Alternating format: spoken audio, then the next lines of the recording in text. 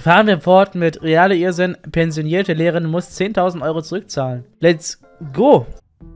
Diese Frau bekommt den Hals nicht voll genug.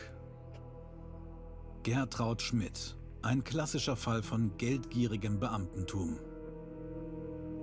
Seit 2020 zieht die pensionierte Grundschullehrerin dem Steuerzahler das Geld aus der Tasche. Dabei sollte sie dem bayerischen Kultusministerium doch nur einen Gefallen tun, um den Lehrermangel abzufedern.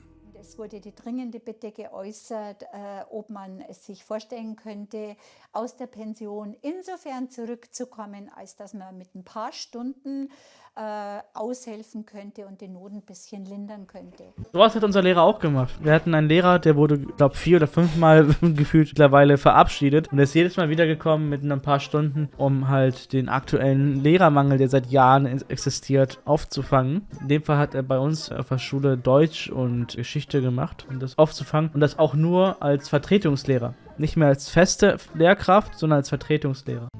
Für zehn Wochenstunden kehrte sie an ihre alte Schule in Fürstenfeldbruck zurück. Alles gut soweit, aber der Zuverdienst zu ihrer Pension war der Ruheständlerin nicht genug. Gertraud Schmidt wollte mehr und nutzte dreist die Not der Kinder in der Corona-Pandemie aus. Sie sind auf der Strecke geblieben, weil sich niemand um sie zu Hause kümmern konnte. Äh, das Kultusministerium hat daraufhin ein Projekt ins Leben gerufen äh, namens Brücken bauen. Äh, dazu braucht man Personal. Äh, die Schulleitung hat händeringend gesucht. Es wurde niemand gefunden. Ich habe mich dann bereit erklärt, auch zu meinen zehn Stunden noch vier Brückenbaustunden zu geben. Aber das waren vier Stunden zu viel. Dem wachsamen Auge der Finanzverwaltung fiel nach einem Jahr auf, die Pensionärin hat mehr dazu verdient, als sie durfte.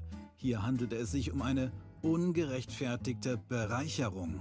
Eine Lehrerin, die in Pension ist, die Bock hat, weiter unter zu, äh, zu, unterrichten, auf freiwilliger Basis. Also ich könnte mir vorstellen, dass sie sogar safe, sie hätte, die hätte sogar wahrscheinlich safe gesagt, ich mache es auch ohne Geld. Aber die hatte einfach Bock weiterzumachen, aufgrund des Lehrermangels, weil die mit so einem festen Entschlossung rangegangen ist, mit nachdem, also ich safe ist sie dann so hingegangen und sagte, sie macht das nur, weil sie möchte, dass halt die Kinder halt was lernen. So, das ist so, ne? Ich sag jetzt noch altbacken und da denkt sie so, oh, sich.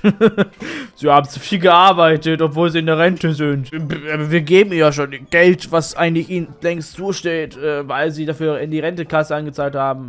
Obwohl ich weiß nicht, wie es bei Beamten ist mit Rentekasse oder Rentenzeug, aber sie hat zu viel gearbeitet. Jetzt müssen sie Geld zurückzahlen. Danke. Die wollten nur Gutes tun und die Kinder äh, weiterbilden oder dafür sorgen, dass sie ge gebildet werden. Deutschland, äh, die Politiker sind nicht so weit gebildet die haben leider diese, das nicht äh, das Recht gehabt, damals Leute zu haben, die sagen, wir wollen freiwillig lernen. Wie kann sie es wagen, den Kindern was beibringen zu wollen? Ich bin von niemanden, niemanden darauf hingewiesen worden, eine Stunde Brücken bauen äh, bedeutet so und so viel äh, Geld. Äh, ich habe keine Ahnung gehabt, was ich kriege, weil mir das nämlich gar nicht wichtig war. Das ist der Punkt. Da, da, ich habe sogar gesagt, ihr ist das Geld ja gar nicht wichtig. Die ist, ihr, ihr ist das Geld nicht wichtig. Ich will einfach, dass die Leute, die Kinder was lernen. Ich hab's gecallt. Das, das ist eigentlich der beste Beweis dafür, dass ich mich überhaupt nicht bereichern wollte. Von wegen. Aber der Freistaat Bayern fordert ein, was ihm gehört. Ja, okay. Ja, okay. Bayern, wir wissen, okay, wir wissen Bescheid. 1805 Euro und 57 Cent. Ich habe also unterm Strich gesagt, 10.000 Euro ähm, zurückbezahlt für äh, vier Stunden Arbeit in der Woche äh, die ich gern getan habe. 10.000 Euro musste sie geben, weil sie vier Stunden in der Woche zu viel gearbeitet hat. Im Endeffekt hat sie vielleicht sogar weniger verdient dabei, als sie gegeben hat. Wow. Also, die, sie zu zahlen müsste. Wow. Na, dann ist doch alles korrekt abgelaufen, sagt das Kultusministerium, das Frau Schmidt damals um Rückkehr an die Schule bat. Sie ist mit ihren zusätzlichen Stunden eben über das maximal mögliche Stundenmaß hinausgegangen, obwohl ihr entsprechende Beratung mehrfach angeraten wurde, die Frau Schmidt nicht in Anspruch genommen hat.